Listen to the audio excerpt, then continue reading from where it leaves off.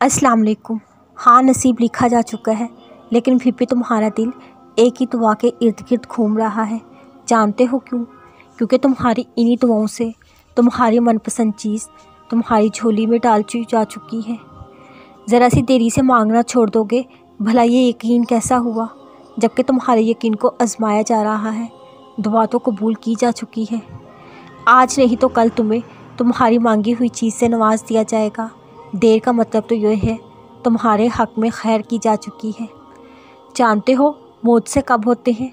जब तुम अल्लाह पे यकीन रखते हो, जल्दबाजी नहीं करते।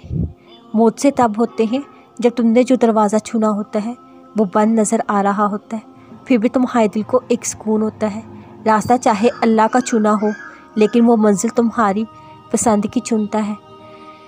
जानते हो, ऐसा भी होता है। तुम तो भूल जाते हो अपने सालों से मांगी हुई दुआ, मांगते मांगते थक जाते हो। ये सोचकर कबूल नहीं हो रही। छोड़ दो, लेकिन तुम्हारा रब नहीं भूलता।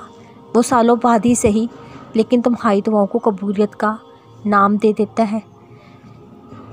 उसे सब याद है, तुम्हारा रातों को उठ उठ कर दुआएँ करना, अपनी दुआओं की कबूलियत के लिए मोजे का इंतज़ार करना। तुम्हारी तड़प, तुम्हारी जस्तजू, वो कुछ नहीं भूला। वो अनकरीब तुम्हारी लिए मुआवजा ख़ास करके तुम्हें तुम्हारी पसंद चीज़ से मिलवा देगा। और तुम ये हंगेज़ मुआवजा देखकर दंग रह जाओगे और कहोगे ए अल्लाह, ये कैसे मुमकिन हुआ?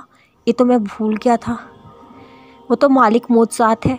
से करना उसकी शान है। से तब होते हैं जब रास्ते दुशवार होते चले जाते हैं। लेकिन तुम्हारा अल्लाह पर तवक्ल तुम्हें गिनने नहीं देता, तुम्हें थामे रखता है। महसूस करो, दिन में कितने ही तुम्हारे साथ मुआवजे होते हैं। वो तुम्हें मामूली सी आजमाइश देख कर जाने, कितनी बड़ी बड़ी तकलीफ़ों से महफूज रख रहा होता है। लेकिन जानते हो, तुम्हें क्यों नहीं पता चल रहा होता? क्योंकि तुम सिर्फ़ अपनी चाहत को पा लेने को ही मुआवजा समझ रहे होते हो। हालाँकि वो सिर्फ़ अल्लाह जानता है।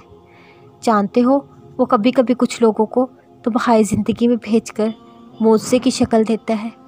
तो कभी कुछ लोगों को तुम्हारी ज़िंदगी से निकाल कर तुम्हें मुआवजे से मिलवाता है।